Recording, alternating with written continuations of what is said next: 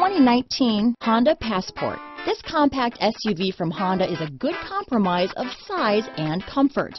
The compact design lets you maneuver well through heavy traffic while still having ample space to carry most anything you need. The Passport, which was assembled in Lafayette, Indiana, also gives you the comfort of Honda reliability and quality.